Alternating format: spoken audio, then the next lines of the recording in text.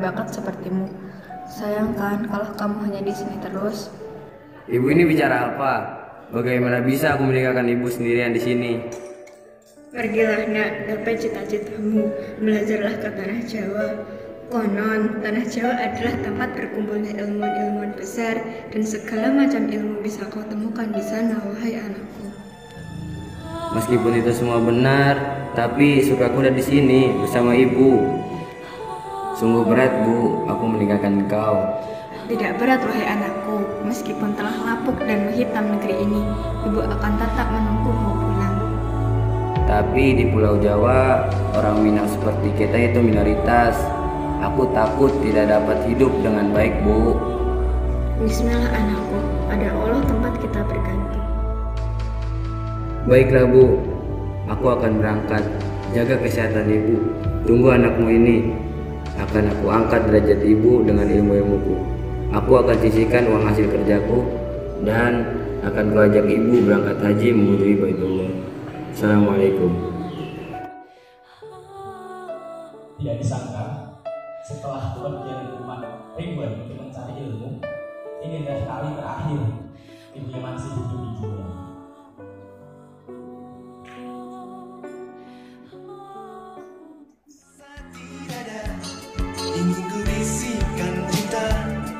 Tapi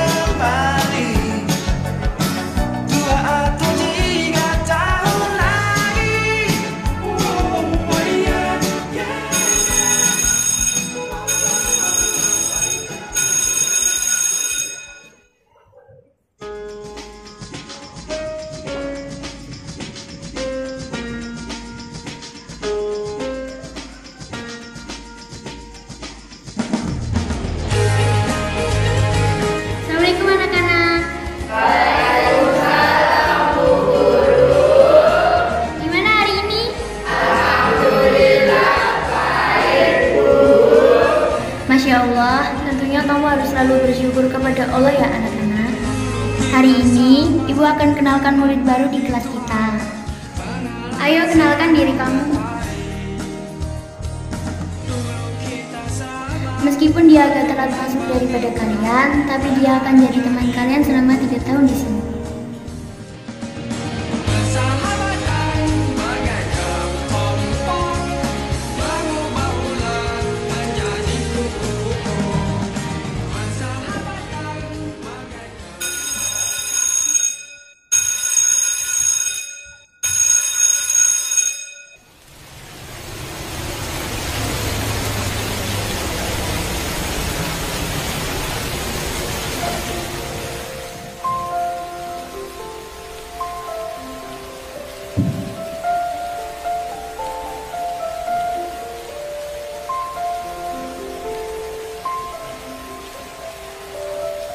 Siapa itu San?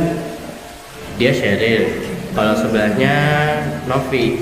Mereka berdua anak IPS 2. Cantik banget. Ya cantik lah dua kelas SMA ini. Nggak bawa motor mereka. Mereka berdua kalau berangkat sekolah jalan. Cuma sekitaran sini doang rumahnya. Duluan ya. Eh, dia ngeliatin kamu terus tuh. Baik ngomongin orang. Dia siapa sih? Murid baru ya? Gak tau juga, baru pertama kali lihat soalnya. Jangan-jangan hujan sampai sore, Ril. Sampai rumah udah malam, capek, belum ngerjain PR lagi. Jadi males belajar.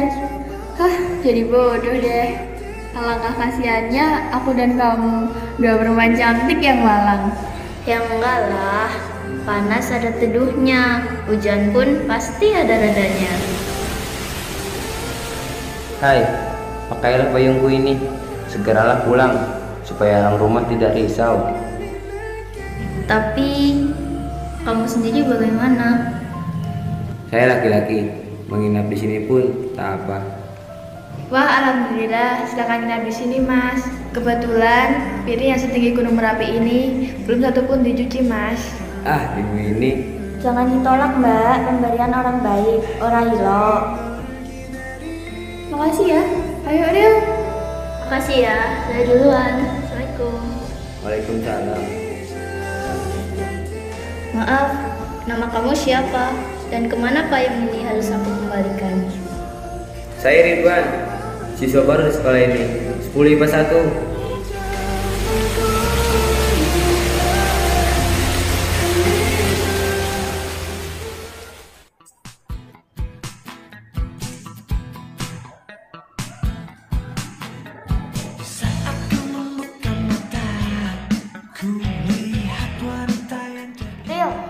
Jamal kayaknya suka sama kamu deh Masa iya? Iya, dari tatapannya Masa sih? Dia kan maunya sama cowok yang kemarin cowok payung Terus Jamal sama Rama gimana? Mereka berdua kan berkompetisi buat dapetin kamu, Ril Aku tegasin sekali lagi ya. Aku tuh nganggap si Jamal sama Rama itu cuma temen, gak lebih. Yang kemarin yang mana sih? Kok aku nggak tahu? Pantesan kamu bawa payung. Cowok kemarin pas hujan yang kamu nggak ada kemarin. Cie, gara-gara payung doang jadi kelepek-kelepek. Iya, aku kepo.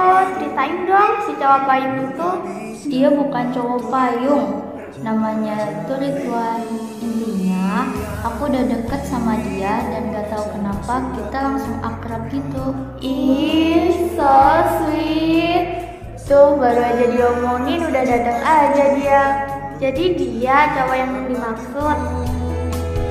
Tiada yang mampu gantikan titamu di hatiku Menyejukkan seluruh jiwa melebur ke dasar sumaku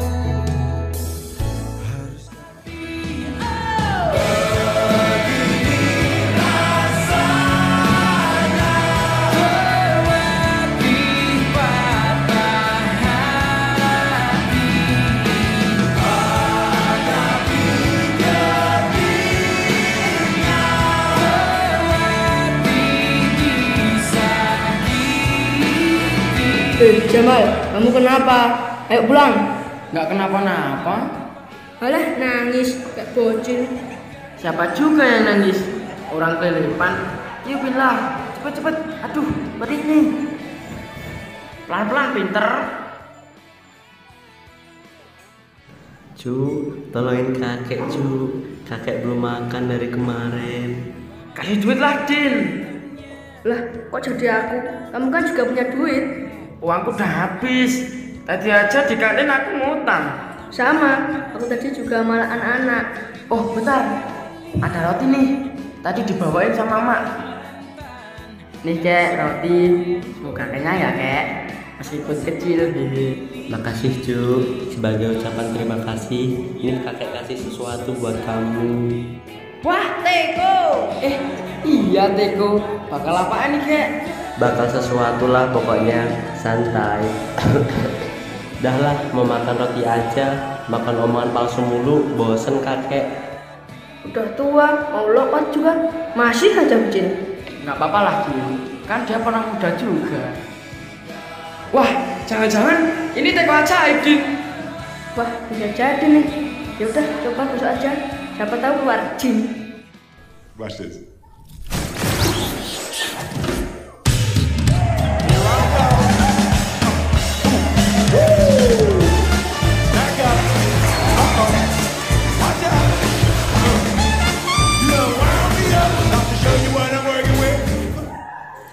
Hahaha, aku adalah jin dari teko ajaib. Kamu aku beri dua permintaan. Lah, kok dua Om Jin? Yang di film Aladdin kan ada tiga. Kan itu settingan. Aslinya mah bisa satu doang itu. Ya Om Jin, ayolah Om Jin. Kasihannya aku Om Jin. Please, ya ya ya. Tambahin dong biar tiga. Ya udah karena aku jin yang baik suka menolong dan rajin menabung maka aku tambahin jadi total tiga permintaan fix no debat Wah, keren. Nah, gitu dong Om Jin. Jadi gini Om, sebenarnya saya tuh suka sama cewek Om. Tapi dia udah deket sama cowok. Nah, saya pengen dia bisa suka sama saya. tenang aku bisa mengabulkan semua permintaanmu masuk mengubah isi hati seseorang haha Mantap. Lalu jadiin aku kayak Om agar ortu Sheryl bisa nerima aku. Terus yang ketiga, jadiin aku kuat agar aku bisa jadi bos geng di SMA ini Om. baiklah akan kujadikan kamu orang kaya kalau kuberikan kamu kekuatan goib dan akan kusihir dia akan menyukaimu tiga permintaanmu aku kabulkan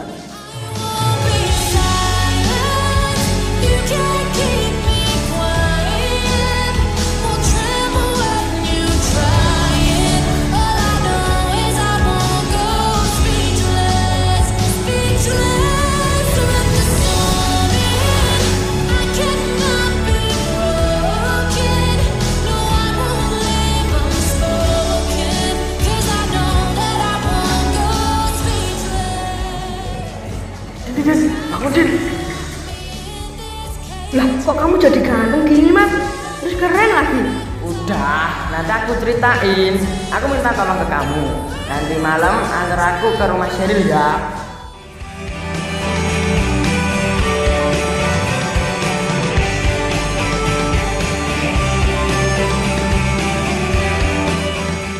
Assalamualaikum. Waalaikumsalam. Miss Yumi. Iya, nyari siapa ya? Nyari Sheryl Umi. Sherylnya ada. Ada. Rio Sheryl, ada nyari ini. Bentar mah, lagi nonton SpongeBob nih. Eh, tinggalin dulu. Sini ada nyari kamu. Eh Jamal, mau ke mana nih? Rapi bener. Ini Ril, mau nengok kamu aja. Mau ngecek bidadari aku masih ada di bumi apa udah balik ke kayangan. Bisa aja kamu, gampang tahu gembalanya. Ya udah Ril, aku mau balik dulu. Nggak baik kan malam-malam. Ini soalnya aku ngajak Wadu juga. Mampir beli martabak dulu ya, Bos. Tenang, gampang itu mah. Ya udah Ril, aku mau balik dulu ya. Besok berangkat sekolah aku jemput. Bye.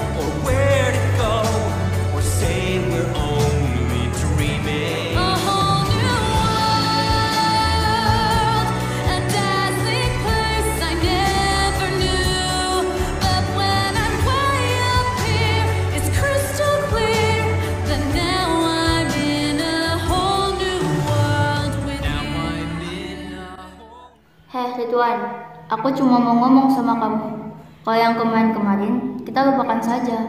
Anggap nggak pernah terjadi apa-apa, oke? Kamu nggak perlu tahu. Intinya, aku udah nggak mood sama kamu. Aku bosen sama orang miskin kayak kamu. Aku ingin hidup senang, cukup uang. Hidup tidak akan beruntung jika tanpa uang. Oh iya, satu lagi. Aku nggak suka dengan cowok sedikit bicara kayak kamu. Mending aku ngomong sama kulkas. Bye.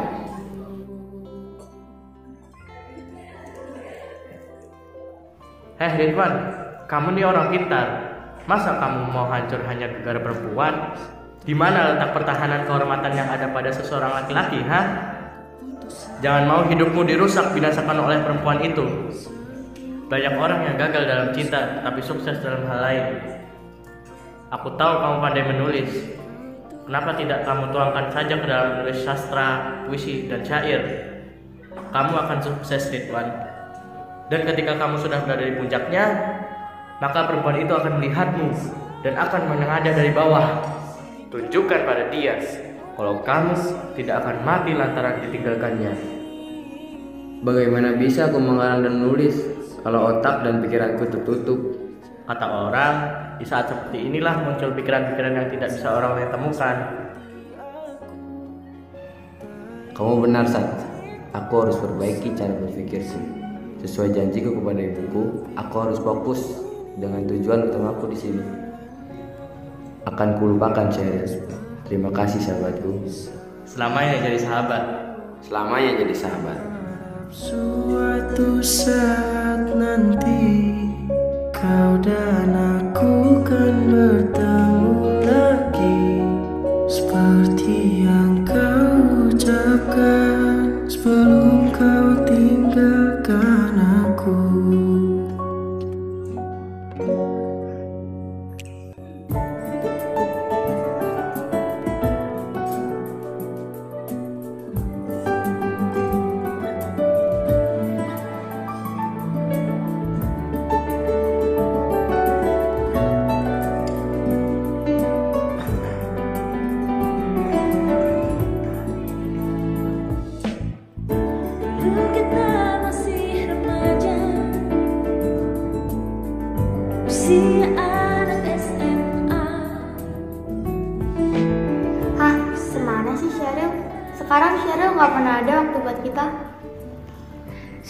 si Jamal. Padahal dulu katanya cuma temen. Eh, sekarang Eh, tahu nggak sih Vi? Akhir-akhir ini dia jadi beda. Dia tuh sekarang suka ngomong kasar. Parahnya lagi, dia berani gak ngerjain PR Mabel Bugisha tahu? beneran. Padahal dia kan yang biasanya paling rajin. Wah, bener-bener emang aneh tuh anak. Dia lebih milih ngabisin waktu sama si Jamal daripada ngurusin tugas sekolahnya. Apa jangan-jangan si Jamal pergi ke dukun buat melet Sheryl? Terus apaan sih? Gak boleh seuzon. Eh, dosa gak sih kita gibah gini? Heh, lihat tuh si Novi. Wah, bening banget kayak ada zam-zam. Di apaan? Pilih Arsi lah, manis banget kayak Presti gula batu. Tapi masih mendingan Sheryl ke mana-mana lah. Mereka berdua mah lewat. Heh, kenapa kamu lari-lari gini dikejar bu kantin kamu? Bos, tadi aku lihat Sheryl berangkat bareng boncengan sama si Jamal. Wah, lancang bener dia. Buset, berani-berani nyambut jangan beda dari aku.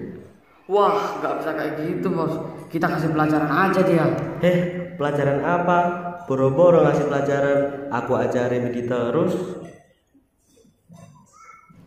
Oh gitu. Ya udah, kalau nanti ada dia, kita kasih pelajaran.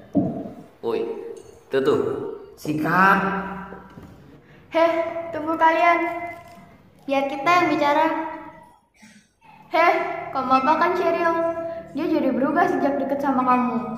Sheryl, kamu beneran gak kenapa-napa?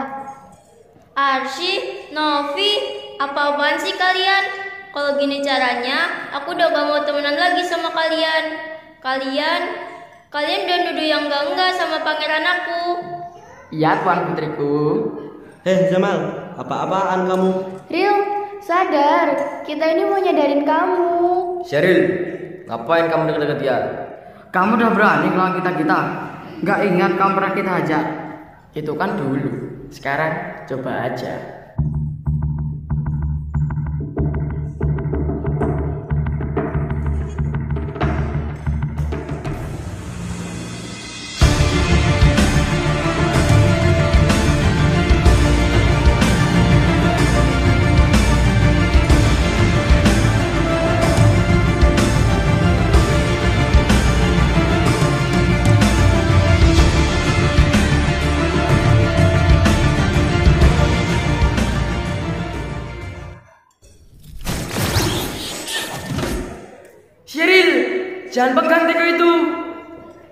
Aduh, kenapa aku dibangunin sih? Lagi bubuk manis juga. Selamat siang, Tuan. Hi everybody, Aku adalah jin dari Deko Ajaib. Salam kenal. Eh Om Jin, ngapain? Aduh. Maaf, aku sekarang mempunyai tuan yang baru.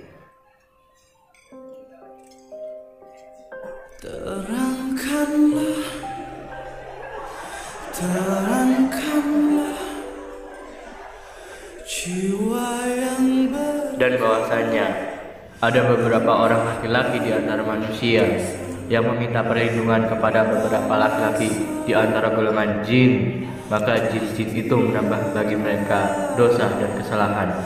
Quran Surat Al-Jin ayat 6 Datang tiba-tiba Ayo bos, kita bawa dia ke ruang PP. Novi, Arsy, aku ingat semuanya. Aku minta maaf. Selama ini aku... Kamu tenang dulu, Ril. Iya, Sheryl. Ini minum dulu. Sekarang aku harus jadi Ridwan. Tunggu, Ril. Sheryl, tunggu.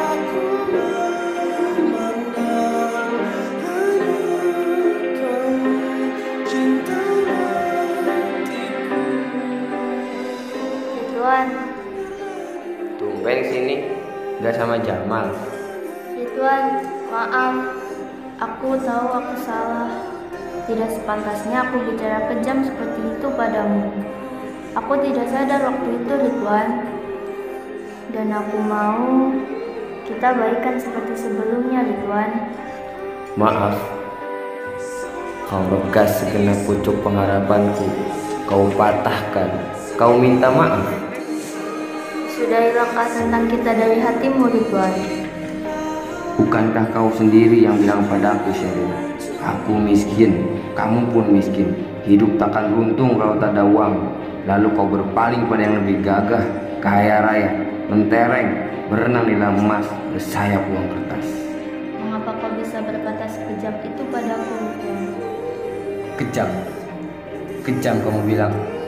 Siapa yang telah mengolok-olok seorang pemuda yang bercita-cita tinggi untuk menambah ilmu pengetahuan, tetapi dia terbuang jauh sana jauh ini, hilang kampung dan halamannya. Sehingga ia menjadi anak komedi yang tertawa di depan umum dan menangis di belakang layar. Kamu yang kejam, Sheryl.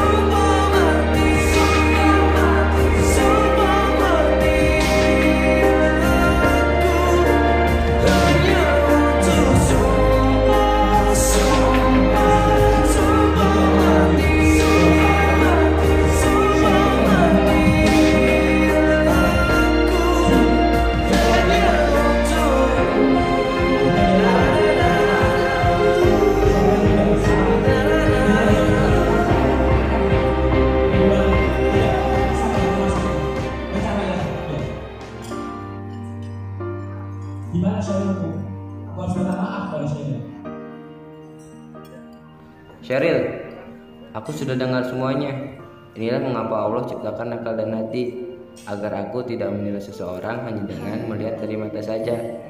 Kamu benar, Ril. Kamu gak salah. Ridwan, syukurlah aku senang mendengarnya. Maaf ya, Ril. Aku terlalu termakan emosi tadi. Kamu gak perlu minta maaf, Ridwan. Aku tahu kamu orang baik. Aku tahu kamu adalah manusia hebat dengan segala impiannya. Aku tahu itu sejak pertama kita bertemu. Aku terharu bisa baikan sama kamu, Ril. Di akhir masa sekolah kita, sebelum kita lulus. Kalau dipikir-pikir, kita berdua itu kayak liburannya.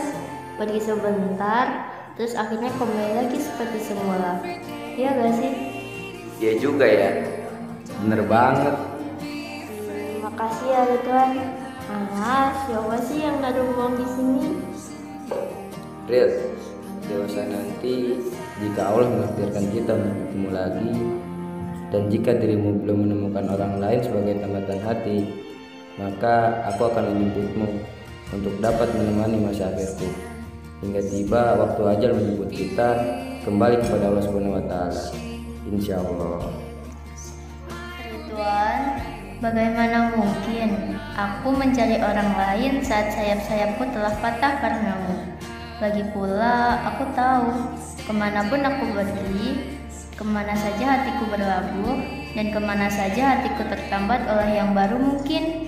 Namun, pada akhirnya aku akan kembali padamu, karena memang hanya ada satu muara yang tertuju, yaitu kamu, Ridwan.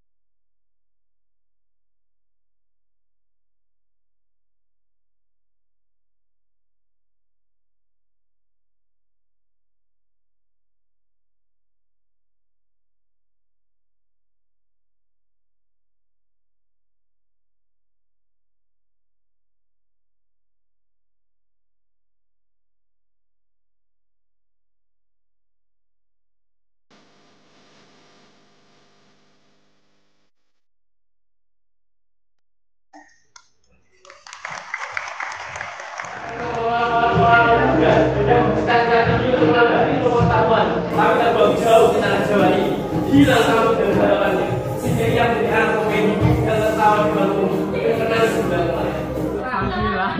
Enggak. Terus kan kakek ya udah Ayo. Eh, jenenge reuni kali. Ini adalah hari ke tiga latihan drama. Semoga sukses.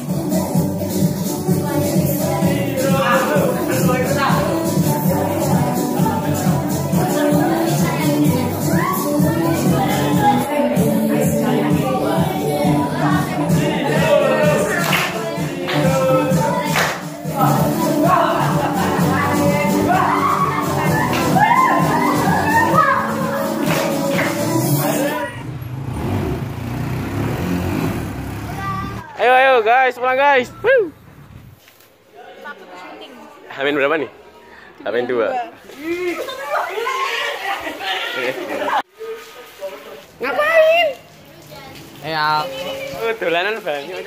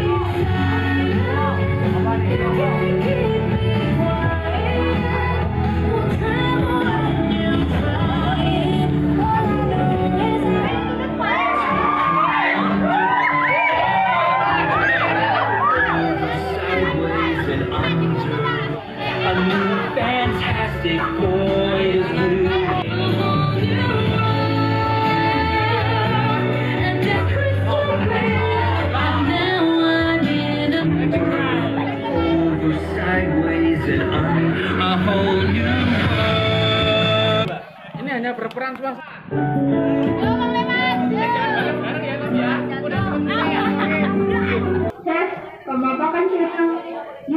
Kan sejak Itu kan dulu. Sekarang coba aja.